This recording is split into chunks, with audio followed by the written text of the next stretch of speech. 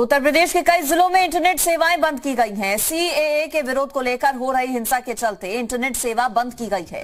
जिन शहरों में इंटरनेट सेवाएँ बंद की गई हैं, उनमें आगरा, अलीगढ़, मऊ, मुजफ्फरनगर, सहारनपुर, संभल सिटी, इसके अलावा मेरठ, लखनऊ, बरेली और गाजियाबाद भी शामिल है। जबकि पीलीभीत में मोबाइल इंटरनेट सेवा चौबीस घंटे के लिए बंद की गई है। प्रयागराज में आज सुबह दस बजे तक के लिए इंटरनेट सेवा बंद रहेगी। उत्तर प्रदेश के ये वो ज़िले जो कि अति संवेदनशील, जहाँ पर ज़बरदस्त हिंसक प्रदर्शन सीएए के खिलाफ देखने को मिला। इन जिलों में इंटरनेट सेवा बंद कर दी गई है।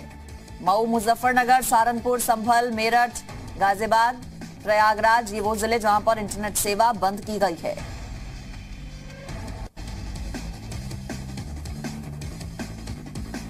तो सीए के खिलाफ हो रहे ज़बरदस्त हिंसक प्रदर्शन को देखते हुए ये फैसला लिया गया है। इसके अलावा आज जो परीक्षाएँ होने वाली थी, वो भी रद्द कर दी गई हैं। कैंसिल परीक्षाएँ हो गई हैं। इंटरनेट सेवा पर सीधे तौर पर असर। और आज भी तैयारी कुछ सामाजिक संगठनों की ओर से की गई है। विरोध प्रदर्शन की इसको देखते हुए पुलिस प्रशासन पूरा अलर्ट है, मुस्तैद है। और इंटरनेट सेवा पर रोक लगाई गई है फ़िलहाल। इंटरनेट सेवा बाधित है। कल दोपहर से ही इंटरनेट सेवा बाधित है और 21 दिसंबर तक कहा जा रहा है कि उत्तर प्रदेश के इन जिलों में इंटरनेट सेवा बंद रहेगी। परेशानी लोगों के सामने, लेकिन सोशल साइट्स पर किसी तरह की अफवाह ना फैले, माहौल और ज़्यादा खराब ना हो, इसको देखते हुए इंटरनेट सेवा बंद की गई है। लेकिन कल जिस तरह से राजधानी लखनऊ में हिंसक प्रदर्शन हुआ, उसके बाद बड़ा सवाल एक बार फिर से कानून व्यवस्था पर उठा। मुख्यमंत्री बेहद सख्त नज़र आ रहे हैं। कल देर रात भी मुख्यमंत्री की ओर से वीडियो कॉन्फ्रेंसिंग के ज़रिए सभी आला अधिकारियों की बैठक ली गई। ज़रूरी दिशा निर्देश दिए, कड़ी फटकार भी लगाई गई सीएम योगी की ओर से, चूँकि एक बड़ा फेल्योर पुलिस का यहाँ पर कल राजधानी लखनऊ में रहा, जिस तरह से हिंसक प्रदर्शन हुए, आगजनी की तोड़फोड़ हुई, पत्थरबाजी हुई। और आगे स्थिति नियंत्रण में हो सके। अफवाहें किसी तरह से सोशल साइट्स पर ना फैले। इसी को देखते हुए इंटरनेट सेवा पर रोक फ़िलहाल लगाई गई है। 21 दिसंबर तक इंटरनेट सेवा उत्तर प्रदेश के कई जिलों में बंद रहेगी।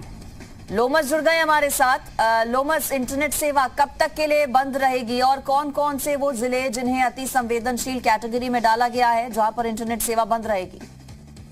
देखिए, मैं आपको बता दूँ कि अभी क्योंकि फ़िलहाल पूरी स्थिति साफ़ नहीं हो पाई है और कल रात में ही साढ़े नौ बजे के करीब लखनऊ में भी इंटरनेट सेवा पूरी तरीके से बंद कर दी गई है और साथ ही कल जिस तरीके से जो हालात बने थे, उसके बाद देखने के बाद कई उत्तर प्रदेश के कई जिलों में इंटरनेट सेवा पूरी तरीके से बंद कर दी गई है। आपको बता दें, अलीगढ़ हुआ, सहारनपुर हुआ या फिर मेरठ हुए और फिर या फिर लखनऊ।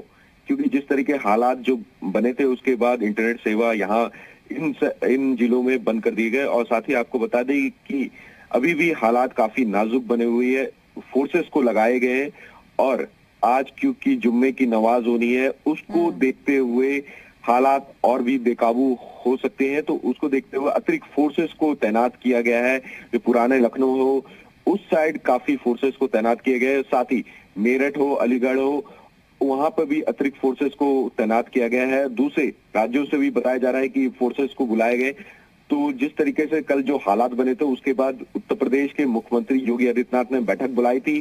सभी अधिकारियों से रिपोर्ट मांगी, कहाँ चूक हुई है, फटकार लगाया गया और ध्यान रखने को कहा गया है। जिस तरह के हालात बन रहे हैं उत्तर प्रदेश में, उसको काबू पाने के लिए अधिकारियों को निर्देश दिए गए हैं। और साथ ही ये भी कहा है कि जो प्रदर्शन कर रहे हैं, जो हिंसा फैला रहे हैं उनको टारगेट करें उनको पकड़े हम्म। और उन्हीं से जित जितना भी सरकारी संपत्ति का नुकसान हो रहा है उन्हीं लोगों से वसूला जाएगा। हम्म, चलिए ठीक है। शुक्रिया आपका जानकारी देने के लिए लोमस